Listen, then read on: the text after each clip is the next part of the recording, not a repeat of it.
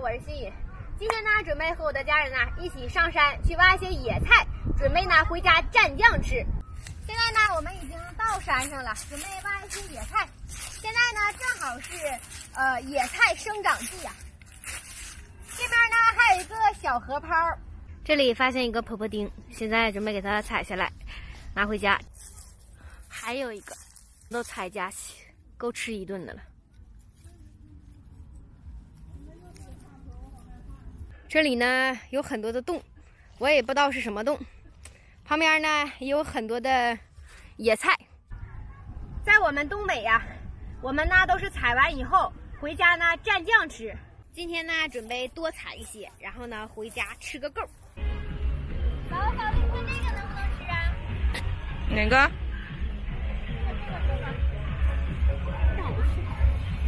不能吃。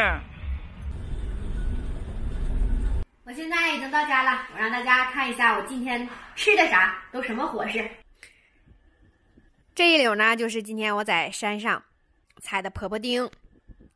这个呢是小白菜，这个呢是我买的水萝卜，还有生菜、辣椒。这些呢都蘸这个辣椒酱吃，特别香。这面呢有玉米饼、大土豆。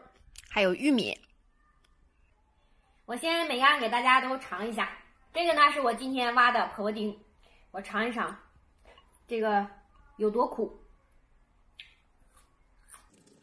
苦是苦了点儿，但是败火呀。还有生菜，我最爱吃的就是生菜了，蘸点辣椒酱。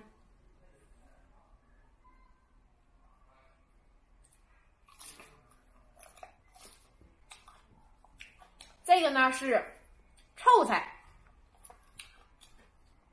说是臭菜，但是吃起来一点都不臭。再尝一尝这个小白菜，给你们看一下这个小白菜。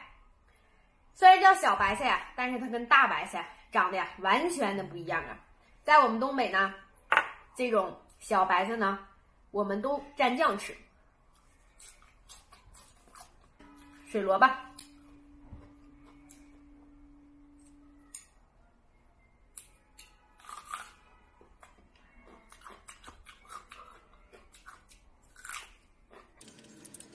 在我们东北啊，什么山野菜都可以生吃的，只要配上这样的鸡蛋酱，配上鸡蛋酱。